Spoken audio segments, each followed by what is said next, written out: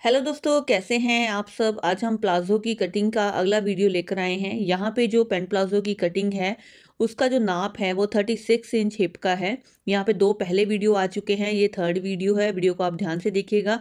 बनने के बाद प्लाज़ो हमारा इस तरह का परफेक्ट बनेगा। यहाँ पे हमारी प्लाज़ो की लंबाई 36 इंच है और जो हिप का साइज़ है वो भी 36 है, यानी कि 18 हाफ़ में है। 36 में चार इंच हम लूजिंग का डालेंगे तो 40 इंच हो जाएगा। 40 को फिर हमने इसको डिवाइड करना है फिर चार से। चार हिस्सों में डिवाइड करेंगे तो दस इंच आ जाएगा। यहाँ दस इंच ही इसका क्रॉच एरिया हो जाएगा, दस इंच ही इसका आसन हो जाएगा। इस नाप में ये जो मेज़रमेंट है वो बिल्कुल सफिशियंट रहेंगी, बिल्कुल परफेक्ट रहेंगी। यहाँ पे जो थाई का नाप है ट्वेंटी थ्री है तो ट्वेंटी थ्री में हमने दो इंच प्लस करना है।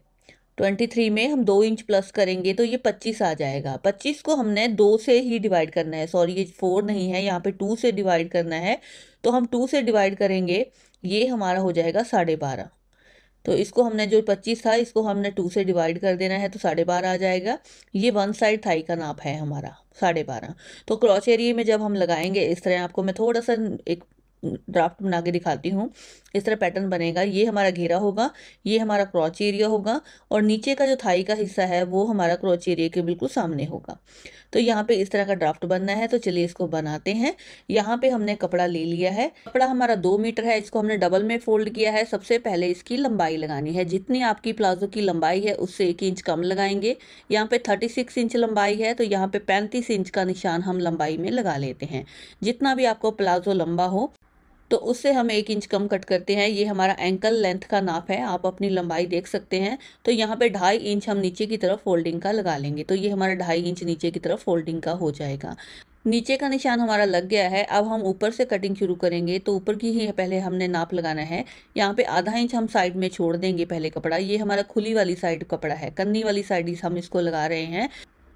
तो 10 इंच हमने इसका घेरा लगा लिया है। 10 इंच इसका हम क्रॉच एरिया लगाएँगे। इस तरह हमने 10 इंच इधर से भी नाप लेना है। आधा इंच साइड में छोड़ते हुए 10 इंच का हम इस तरह निशान लगाएँगे तो ये हमारा क्रॉच एरिया लग जाएगा। इस तरह एल बनाएँगे तो एल बनाने के बाद थाई वाला नाप यहाँ पे लगेगा। थाई वाला नाप हमारा साढ़े बारह आया था। यहाँ पे हम आधा इंच छोड़ते हुए साढ़े बारह इंच थाइस का नाप लगा लेंगे इस तरह।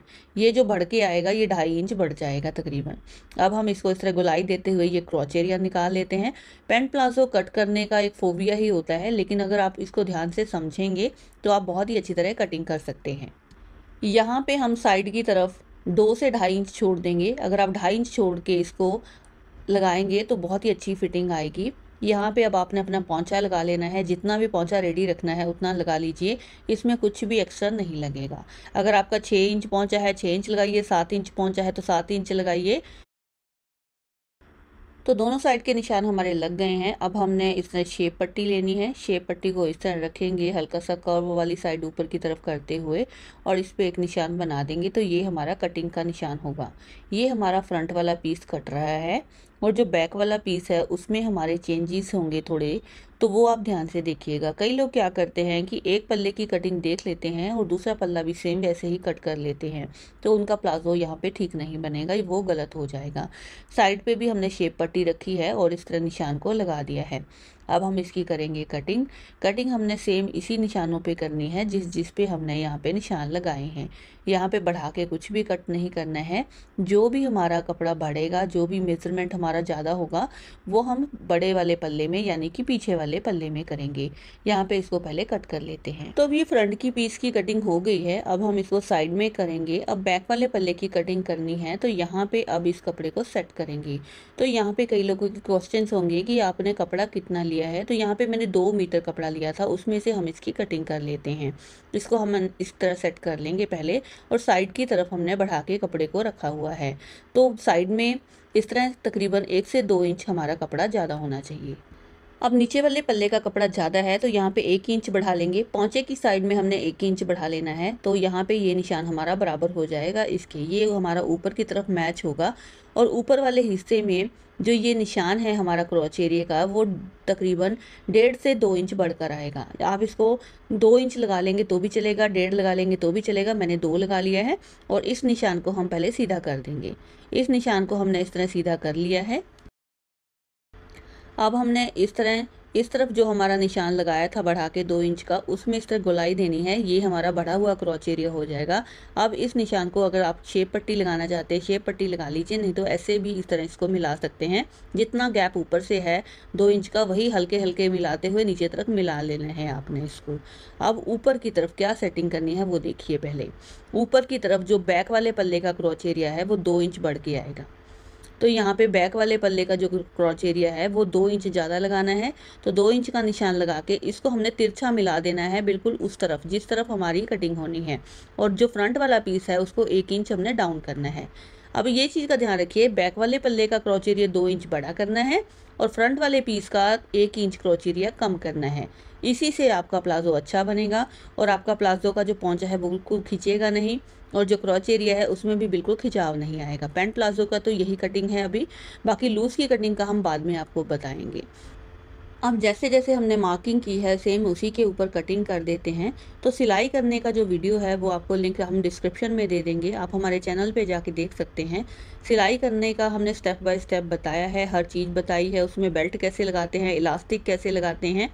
और जो हमारी पॉकेट है, वो कैसे लगाते हैं, सब चीज़ें हमने क्लियर की हैं, उनको आप देख लीजिएगा। तो लीजिए क्रॉच एरिया की कटिंग हमारी हो गई है। और यहाँ पे तीन इंच छोड़ के हमारी ये प्लेट आएगी। इसका निशान भी हमने लगा दिया है और साइड से अब हमने कर देनी है इसकी कटिंग और ये जो हमारा प्लाजो है, इसके बाद कट कर तैयार है। और इसकी जो पॉकेट है, वो भी मैं आपको कट करके बताऊँगी, क्योंकि इसमें हम थोड़े से चेंजेस करेंगे। ये हल्का सा नाप अब थोड़ा बढ़ रहा है तो पॉकेट की लंबाई और चौड़ाई भी हम थोड़ी सी बढ़ा देंगे। तो लीजिए, ये कटिंग अब हमारी यहाँ पे हो गई है। साइड से हमने कुछ भी बढ़ाया नहीं था, लेकिन जो अंदर वाली साइड है, उसमें हमने ये जो बढ़ाकर कटिंग करनी है, तभी हमारी प्लाजो की फिटिंग अच्छी आती है। तो अब लीजिए, ये प्लाजो की हमारी कटिंग हो गई है। इस तरह अगर आप कटिंग करेंगे तो आपका प्लाजो बहुत ही बढ़िया बनकर तैयार होगा।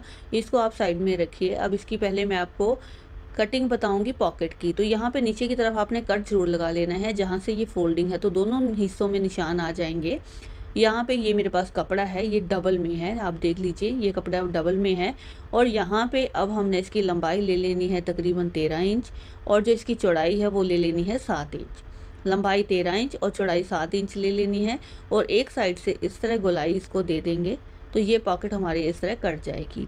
और ये हमारा, ये दोनों साइड से ओपन है तो बड़े वाली साइड से हमने इसको इस तरह सिलाई लगा देनी है और ये हमारी पॉकेट बाद में लगेगी। आप उस कट स्टिचिंग वाली वीडियो में देख लीजिएगा जाकर। आपको पॉकेट लगाने का तरीका बहुत ही अच्छा सा मैंने बताया हुआ है। तो लीजिए, ये प्लाजो हमारा कट गया है। अब हम इसकी स्टिचिंग करने के बाद एक लुक आपको दिखाते हैं। तो लीजिए, प्लाजो हमारा बनकर तैयार हो गया है। ये हमारा पैंट प्लाजो है। नीचे का हिस्सा आप देखिए कितना फिनिशिंग से आया है।